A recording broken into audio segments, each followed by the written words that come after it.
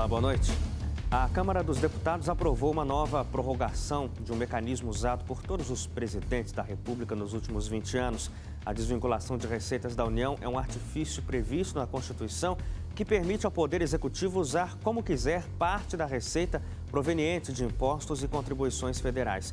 Para os governantes, isso é bom, porque o orçamento deixa de estar engessado. Por outro lado, o argumento contrário vem de quem defende investimentos sociais e atenção à saúde e educação, por exemplo. Para esses analistas, a desvinculação abre brechas para que os recursos mínimos de aplicação nessas áreas sejam desrespeitados e o governo acabe gastando em áreas menos necessárias. Mas uma outra coisa chama atenção com essa aprovação. O governo interino ainda tem apoio, mais apoio no Congresso do que a gestão de Dilma Rousseff. A votação da ADRU era mais um projeto que estava parado esperando a boa vontade dos deputados. E hoje você também vai ver. Votação do cronograma do impeachment não foi realizada por causa de tentativa da base do governo interino de reduzir o processo. Câmara dos Deputados aprova duas medidas importantes na mesma noite: o adiamento da DRU e o aumento dos servidores públicos. Produção da indústria tem segunda alta mensal seguida no mês de abril. Mas no longo prazo, o tombo ainda é grande. Posto de gasolina de Vitória cobra preço sem tributo e vê grande fila se formar no dia pela liberdade de imposto. A Anistia Internacional demonstra mais uma preocupação com o Rio de Janeiro como a sede das Olimpíadas. É a violência policial e ainda uma reportagem que mostra a dificuldade de inclusão de surdos no Brasil com a complicada adaptação entre o português e a linguagem de sinais. Hoje estamos recebendo aqui no estúdio o assessor econômico Vitor França, ele é, ele é da FEComércio de São Paulo. E hoje é o Dia da Liberdade de Impostos. Isso porque uma organização disse que até ontem você trabalhou só para pagar impostos aqui no Brasil. Então a nossa pergunta para você hoje é a seguinte: o que é que você gostaria de ver de mudança nos impostos no Brasil? Mas na sua resposta, considere que o país tem um problema de arrecadação baixa atualmente e precisa sair de uma crise financeira profunda. Então participe com a gente respondendo pelo WhatsApp 129 8135 2908.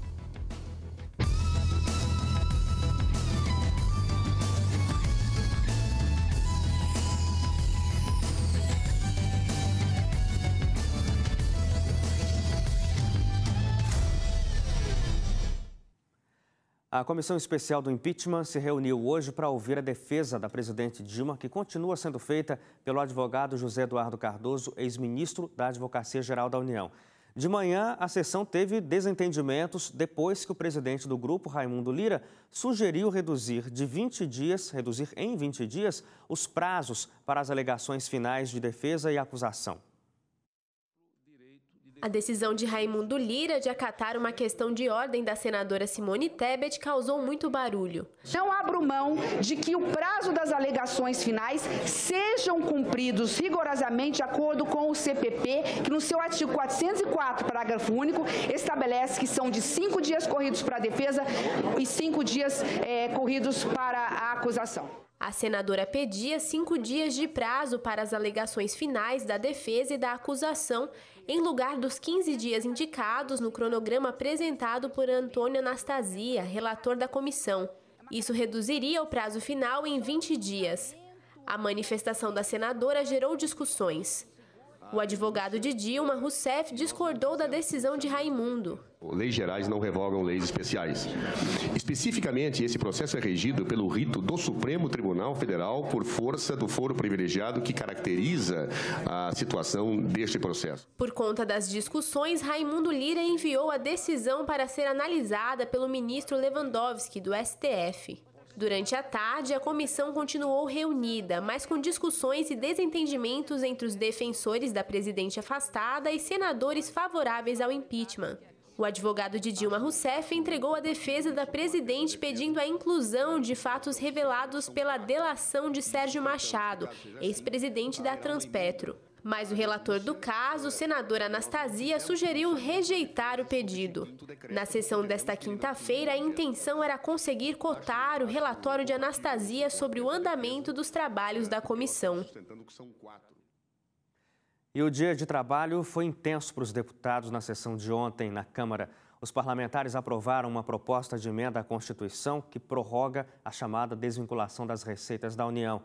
Como se trata de uma alteração na Constituição, o projeto tem que ser votado uma segunda vez em um segundo turno. A DRU, ou Desvinculação de Receitas da União, dá ao governo o direito de usar como quiser até 30% de todos os impostos e contribuições federais. Esses recursos federais foram destinados para finalidades específicas pela Constituição e por leis aprovadas pelo Congresso. Mas a própria Constituição também previa a desvinculação no trecho que trata de disposições transitórias. Desde 1994, Todos os presidentes usaram o mecanismo da DRU para conseguirem driblar a obrigatoriedade de aplicação de recursos em áreas específicas. O último prazo previsto para a desvinculação acabou em 31 de dezembro.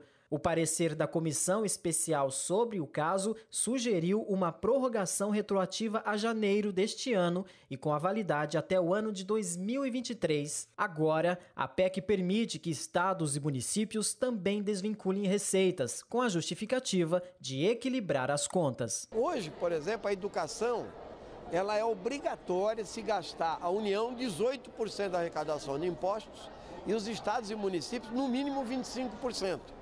Se você acaba a vinculação, você pode gastar 10% para educação ou qualquer coisa assim. Então isso é um retrocesso brutal. O que nós não podemos é, continuar e nós não podemos entender é como um orçamento engessado como orçamento é, do Estado brasileiro, que tem menos de 2% é, para uso discricionário, pode sobreviver sem desvincular receitas da União. E na sessão da Câmara, que começou ontem e só acabou hoje de madrugada, os deputados fizeram uma maratona de votações para conseguir aprovar vários projetos que estavam parados na casa e tratam sobre aumento salarial de categorias do funcionalismo público. A aprovação ocorre no governo temporário de Michel Temer, mas teve acordos costurados na gestão da presidente Dilma Rousseff. No debate que antecedeu as votações dos reajustes, o líder da minoria, José Guimarães, lembrou a negociação que foi feita para garantir os aumentos quando ele atuava como líder do governo de Dilma Rousseff. Quantas vezes nós conversamos com a AGU? Nós recebemos a AGU. Quantas vezes nós recebemos servidores do Judiciário? A mesma coisa do MPU e dos outros poderes. E nós queremos dizer para vocês, para o Brasil, não estamos tendo nenhuma irresponsabilidade. Pelo contrário, isso não vai ocasionar nenhum rombo fiscal, muito pelo contrário, já tem previsão orçamentária, já está na LDO. Já o líder do governo interino, André Moura, disse que recebeu do presidente Michel Temer a determinação de que todos os reajustes de servidores fossem votados nesta quarta-feira, dando a todos o mesmo tratamento. Diferente do que já tinha sido feito anteriormente, quando se votava o reajuste dos servidores do Judiciário, do Ministério Público, na gestão anterior da presidente afastada Dilma Rousseff e deixava AGU, DPU, TCU, Câmara, Senado para um momento subsequente. As votações que tratam de reajustes começaram pelo projeto que estabelece os ganhos dos servidores do Poder Judiciário. Os funcionários públicos federais estavam sendo enrolados por 10, por 5, por vários anos. E em 19 dias, o governo do presidente Michel Temer manda para esta casa esta mensagem ontem da votação da urgência e hoje já vamos encaminhar favoravelmente ao mérito, mostrando um respeito ao funcionário público da União. Na verdade, a construção desses 16 acordos com o governo Dilma foi feito durante meses com as categorias o Ministério do Planejamento, o ministro Nelson Barbosa.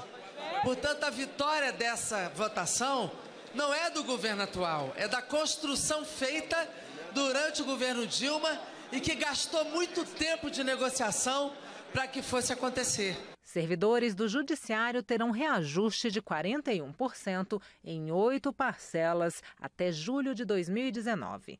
Funcionários do Ministério Público da União ganham, além do reajuste, um novo plano de carreira. Ministros do Supremo Tribunal Federal e o Procurador-Geral da República passam a receber R$ 39.293. O subsídio do Defensor-Geral da República vai chegar a R$ 33.763 em três anos. Servidores do Senado Federal e da Câmara têm reajuste de cerca de 20%, escalonado em quatro anos. As propostas aprovadas na Câmara também reajustam os salários de servidores do Tribunal de Contas da União, da FUNAI, da Embratur, funcionários de carreira previdenciária, da educação e da ciência e tecnologia. E os projetos também beneficiam servidores de agências reguladoras, ex-territórios federais e servidores das Forças Armadas. E a gente conversa sobre esse assunto com o Vitor França, economista, assessor econômico da FEComércio de São Paulo. Vitor, obrigado pela sua presença mais uma vez com a gente. Boa Eu noite. Eu que agradeço, é sempre um prazer. Boa noite, boa noite aos espectadores. Vitor, a gente teve aí é, algumas decisões na Câmara que tratam diretamente das contas públicas. Uma delas que a gente acabou de falar aí, sobre o reajuste de servidores públicos. Já era uma, uma luta antiga desde o ano passado, a gente viu desde o começo do ano, principalmente o judiciário, né, fazendo greves, paralisações, tentando pressionar pela aprovação dessa medida. Agora, então, sai no, no, governo interino. A gente viu aí o, dos dois lados, né? A Jandira Fegali dizendo, não, isso aqui é, é, uma conquista que foi garantida pela presidente Dilma, o Baleia Rossi dizendo, não, ficou parado no, na presidência da Dilma, agora foi só o Temer que conseguiu. Mas, de qualquer jeito, a gente vê aí um aumento de gastos por conta dos salários que vão ser aumentados nas categorias do, das três, dos três poderes. Sim, sem dúvida. Como foi colocado, era algo previsto no orçamento, que já tinha sido costurado. Tem um aspecto político é, importante, que, que eu não vou entrar em detalhes aqui, mas a gente sabe o papel importante que o funcionalismo público tem nesse momento, como eles têm capacidade de exercer pressão pelo governo, e um novo governo depende do apoio deles é, para conseguir avançar com medidas, para conseguir fazer análises importantes, levantar números importantes. Então, eles têm um papel importante nesse momento também. Então, esse reajuste tem um, um quê político que a gente não pode ignorar. Mas num momento como esse, onde a população está com o orçamento cada vez mais apertado, os empresários estão é, convivendo com prejuízos diários, queda de vendas. É duro é, engolir uma notícia como essa. Eu acho que é, é uma notícia que acaba passando uma, uma, uma, uma, sinalização, uma sinalização meio ruim, no momento onde se fala em necessidade de corte de gasto, o Brasil precisa cortar gasto, precisa cortar gasto, e de repente é aprovado um reajuste desse. Obviamente que tem mais coisa aí, tem um aspecto político, é, tem uma categoria que há muito tempo não recebia aumentos, mas de fato fato, é uma medida que parece contraditória no momento onde o discurso, de, de a palavra de ordem é, é corte de gastos. Contenção. Agora, a outra decisão vem por, por um outro lado.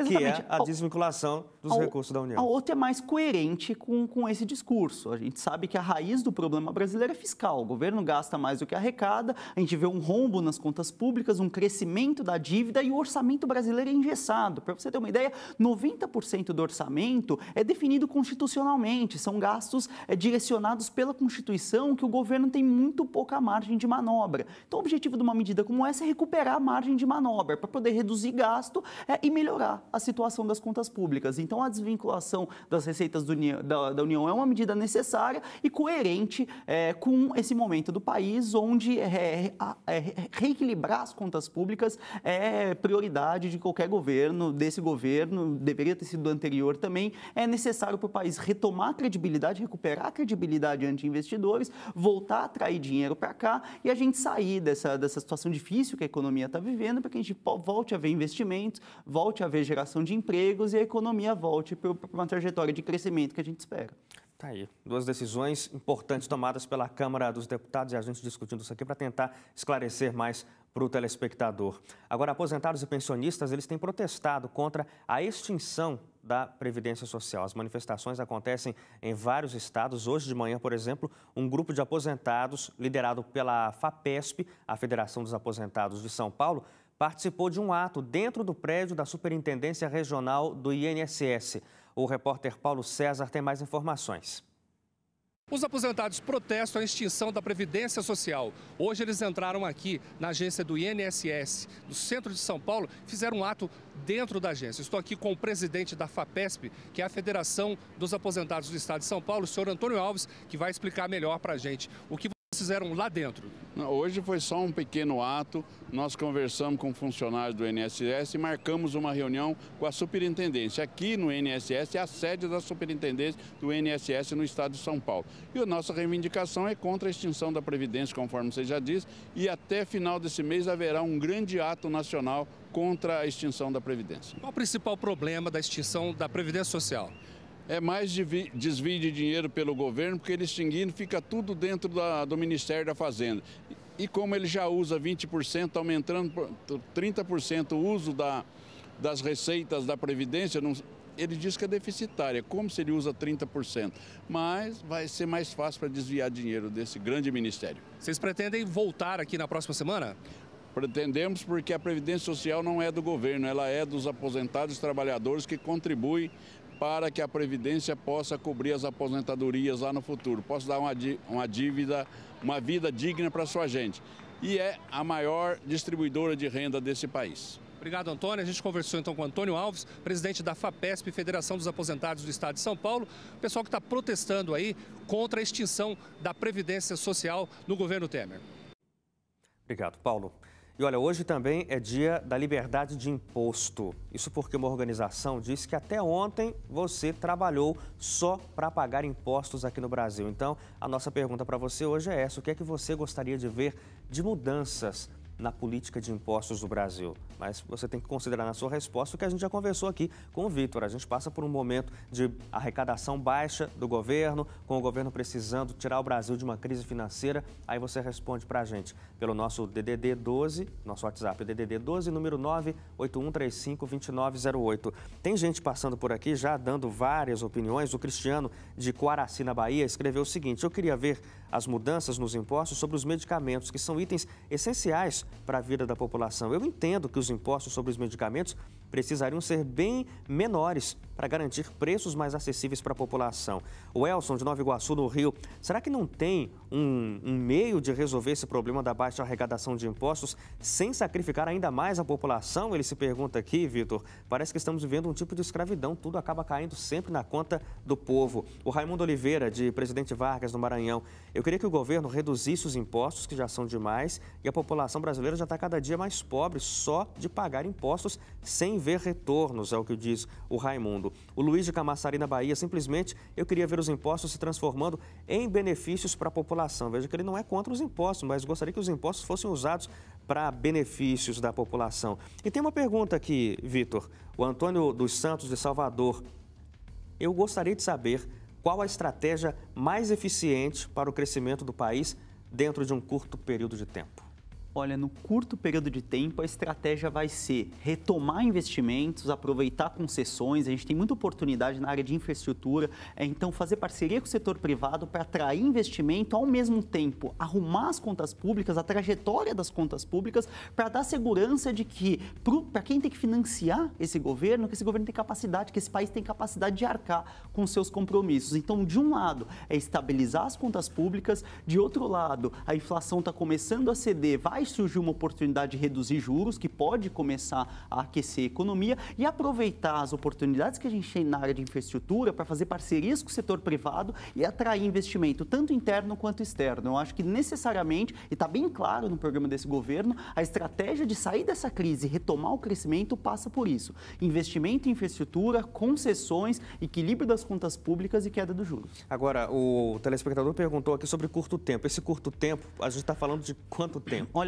é que curto tempo, infelizmente, a gente gostaria, porque todo, ninguém aguenta mais essa crise, assim, ninguém aguenta ver desemprego subindo, passando de 11%, mais de 11 milhões de desempregados, PIB com a queda de, de 5% acumulada em 12 meses, assim, são resultados assustadores. É, todo mundo quer, quer reverter essa situação rápido, mas o problema é muito grave.